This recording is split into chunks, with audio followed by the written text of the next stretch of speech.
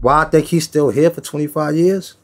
Because ain't nobody do it like that in 25 years. You know, I love a Drake. I love J. Cole. I love all I, I love a lot of new artists, but it's nothing like B.I. It's nothing like that. He's still saying lines. He still got lines you still catching today. I'm trying to push 700s. They ain't made them yet. They ain't make a 700 yet. you know what I'm saying? Like, no, the man is like, it's rhymes that still sound like today. That could go up against any rapper bars today.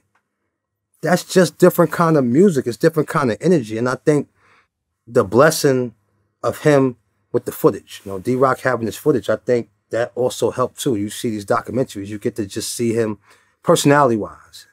And you get to hear him talk and you get to hear his mind state and what he was thinking about, how he was doing shit. I think that just add on to it the way it's like, yo, because you get to see the transition, not just hear it, you get to see it. You know, you watch a documentary, you see him go from the fatigues with the BDK, Big Daddy Kane, scarf and the thing to the Coogi, the Kangol, the Pinky. You know what I mean? Like you actually watch his life change and you watch what he did for us. You watch what he did for Un. Boy was 24 years old and got married. You know what I'm saying? Like, I just think it was it's just I think it's just everything about him all in one, but the music is just timeless music. You know, if you could turn his music on after 25 years, that's crazy. Like you turn on Hypnotize, it still rocks the same way 25 years ago.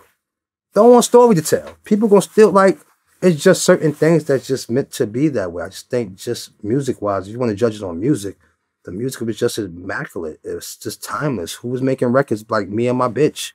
Telling a story about you and your chick. Who's making a record about missing you? Talking about like, like he, you know, them type of songs and shit, eh, storytelling and content, they're meant to last. They're meant to outlast. Mm-hmm the average. You know what I'm saying? Because it's, it's something to it. It's something that you're gonna live with. Like, yo, man, I went through that shit before. I could say I went through that at 44. A kid 24 could be going through something like that now.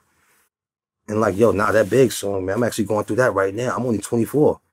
You know what I mean? Like, nah, I wasn't even alive. I wasn't even born when he was talking about this shit. But that song resonated because my father played, or because my uncle played. You know what I'm saying? Or I hear it on the radio. Or you going, you know, social media too. You know what I mean? They won't let it die. You know what I'm saying? Like you go on social media, you seeing big pictures, seeing big done over. Look at Halloween. You see all these Kim overs and big overs and Tupac overs. It's just like I think social media just kind of brought their their life back in here too. You know, especially with the frivolous shit going on. It makes you look and go, damn, boy, all this corny shit going on right now. I wish the Tupac and the Biggie was here right there. You know what I'm saying? like, you know what I mean? Because it's just so much corniness, so much fakeness that it made you just appreciate them more, especially if they was talking about, you know what I'm saying? You know, they was really just like putting down musically. Like, so I just think the music is just timeless shit that people gonna never get over. I think as time go on, it's, it's still gonna get better and better.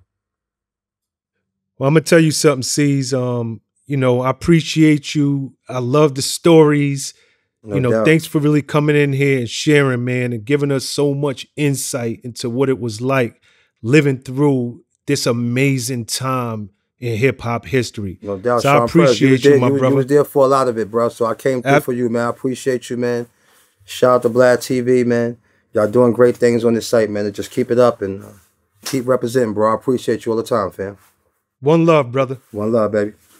You know it.